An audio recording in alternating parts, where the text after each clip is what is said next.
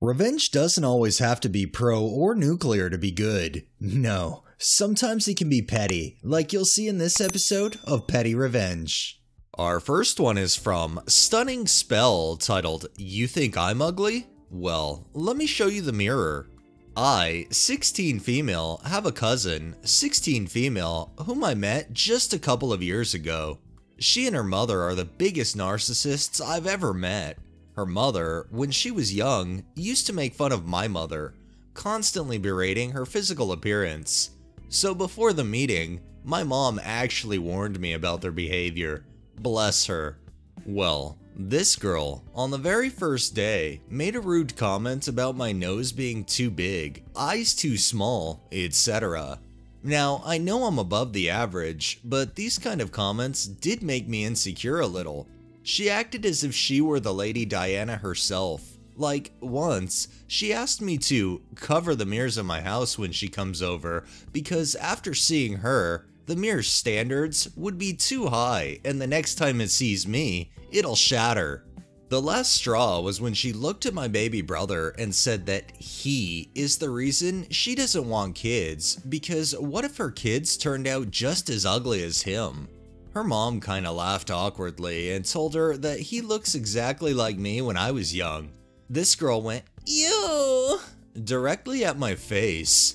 That's it. That was it.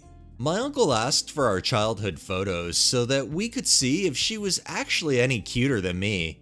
I was willing to show mine, but she was kinda hesitant. She said she didn't have any. She doesn't want to show them? Okay, I know what I'm gonna do now. I spent the whole weekend searching for her and my pictures and put them all in the photo album. When the next time we had a family gathering, I asked for everyone's attention and asked them to look at our old photos. Everyone was enthusiastic. I handed them the album, and on the very first page, there was a picture of me, a cute little teddy bear, and her, a crooked teeth monkey who looked like it had been marinating in car oil for three years straight. Initially, she was like, Ew, that baby's ugly as fuck. But when she realized it was actually her, she was extremely embarrassed. Then she accused me of editing my pictures to look good and hers to look like that.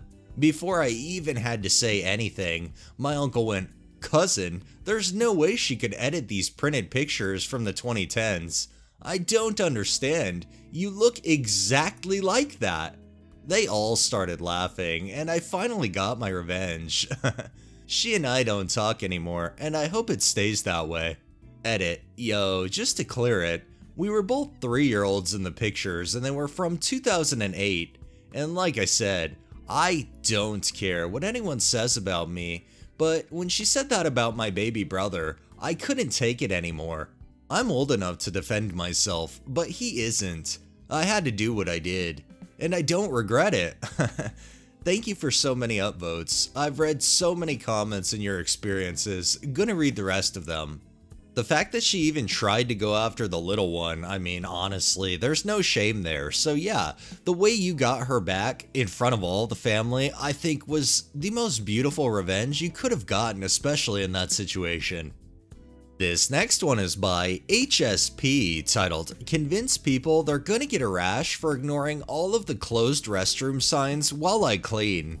So, I work for a company that does commercial cleaning jobs, mostly restrooms, in businesses around the area. I have a big machine I pressure wash bathrooms with that has a cleaning chemical in the water. I put up plenty of signs while I clean that say the bathrooms are closed for cleaning, the ones I have hang at eye level in the door frames and you have to physically duck to get under them. I frequently get people who come up and look at the signs and ask if they can use the restrooms, which I always politely say no because they're closed for cleaning and I have a cleaning chemical on all of the fixtures. They usually are fine with that and either wait or go to a different one. I clean both the men's and the women's at the same time when I do these, so sometimes I'll be inside of one of the restrooms and don't see someone sneak into the other one to use it. This means I have to sit there and wait for them to finish before I can finish cleaning that restroom. If they're fast, I might just give them a look, but if they cost me a lot of time, I'll tell them that I hope they don't get a rash. They usually get confused, so I explain that the chemicals I spray on the fixtures are harmful to the skin, and that's why I have to close the restrooms while I work.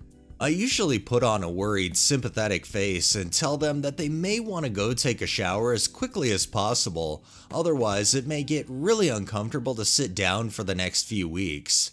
This usually freaks them out a bit, and they rush away. Our chemicals are actually pretty harmless, so long as it's not straight from the jug of undiluted, which if I sprayed it through the machine, it's been heavily diluted, so it won't ever cause a problem. But that fear feels really good to see on someone who thought the rules didn't matter to them. I really think that's a great way to let people know they broke the rules and to hopefully make them think next time before going into a bathroom that clearly says it's closed. This next one is from Hey Gracie, titled Don't Share My Netflix Account Unless You Enjoy Painstakingly Translating Korean. My ex and I had been together for 7 years, long enough for several components of our lives to be shared, including a Netflix account. The relationship ended after he met another woman back home.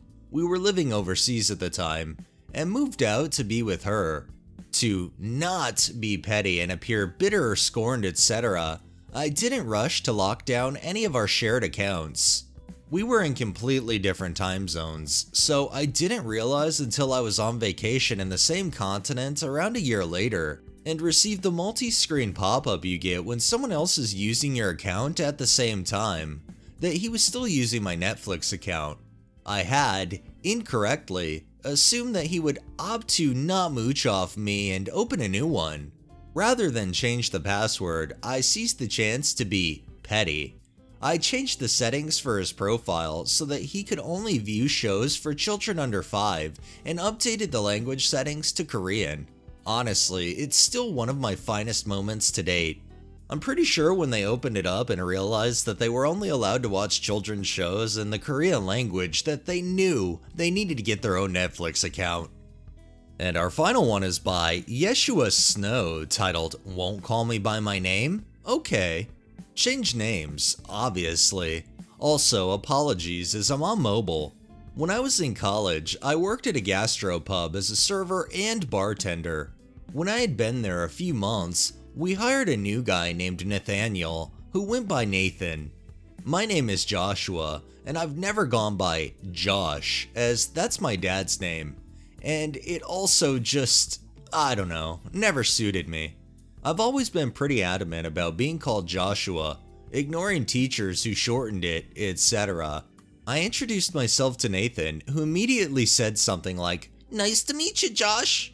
I politely told him that I prefer Joshua, Using my go-to line, my dad is Josh, and my parents decided that Joshua was preferable to Bubba. I'm from the American South, where Bubba is a common nickname for any junior or male who has the same first name as his father. It's also kind of a prerogative nickname used by people from other parts of the country for backward redneck southerners. The line usually gets a laugh, or at least a good-natured chuckle, and then people don't seem to have a problem calling me Joshua afterward. Nathan, however, never once used my full name, always calling me Josh. I really liked the guy and enjoyed working with him, and we soon became pretty good friends, often hanging out outside of work, etc. But his refusal to use my preferred name always kind of irked me. My very silly, very petty revenge was that I always call him Nate instead of Nathan. He looked at me oddly the first couple of times, but he never brought it up. I never once heard another person call him Nate, and frankly, Nathan suited him much better. One night, a few of us were closing the bar and he, as usual, called me Josh. One of the waitresses, bless her, corrected him. He goes by Joshua, nobody calls him Josh, she said. Nathan stopped wiping the bar, got a far off look for a moment, then spun to look at me. Is that why you called me Nate? he asked. I just laughed. There was a general banter for a few minutes about how everyone thought it was odd that I called him Nate, but nobody had really thought about it. Nate laughed about it and then was like, screw it, let's just keep going with the wrong names. And so we did. He's the only person I know who calls me Josh, and as far as I know, nobody but me calls him Nate. What was once a bit of nagging annoyance to me became kind of a bonding thing, having our own buddy names, pet names, cringe, for each other. That's all. Dumb, but I think it's in the spirit of this sub. It is funny how a petty revenge just turned into a good friendship and that you guys can laugh about it and it's just all a joke now. I'm glad things seem to be going well. Alright, that's enough revenge for the day. Well, that wraps up this episode of Petty Revenge. If you liked the video, please drop a like, share my content on all of your social media, subscribe if you haven't already, and make sure to hit that bell so you're notified every time I upload, and drop a comment down below. Thanks for watching, thanks to my patrons, have a great day and stay safe out there.